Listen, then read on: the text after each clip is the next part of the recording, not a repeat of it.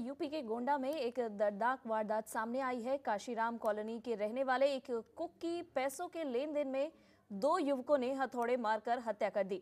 हत्या के बाद शव कॉलोनी में फेंक कर फरार हो गए। ई रिक्शा चालक की सूचना पर पहुँची पुलिस ने शव कब्जे में ले लिया। मामले में कुक की पत्नी ने दो लोगों के खिलाफ हत्या की रिपोर्ट दर्ज कराई है।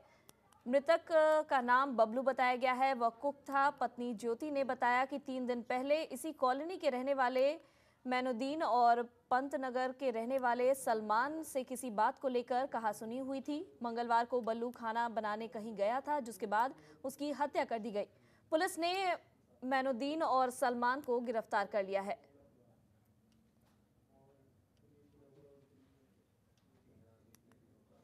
जो हमारे हस्बैंड है। क्या नाम है इनका? बल्लू।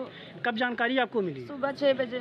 कहाँ आप सोती थी? हम अपने मायके में थे। यहाँ नहीं थी? नहीं यहाँ नहीं थे हमारे कोई नहीं था। कैसे जानकारी आपको मिली? फ़ोन किया गया है। कौन फ़ोन किया?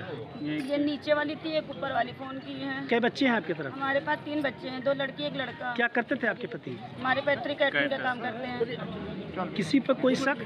हाँ शक है। किसके पर? पर एक लोग तेरे नाम रहते हैं उनके ऊपर सके परसों लड़ाई हुई थी तो कालर पकड़ी पकड़ान हुई जी जी। कालर पकड़ी पकड़ान हुई थी पैसा वो लिए हुए थे तुम्हारे हस्बैंड मांग रहे थे कि पैसा हमें दे दो तो ये बोला था अभी नहीं दे पाएँगे। थाना कोतवाली नगर के अंतर्गत काशीराम कॉलोनी से सुबह लगभग आठ बजे एक मृत शरीर देखे जाने की सूचना आई थी। सूचना पाते ही पे पाते ही मौके पे तुरंत गया, जाया गया और वहाँ पे फ़ील्ड यूनिट और डॉग स्क्वाड को बुलाया गया।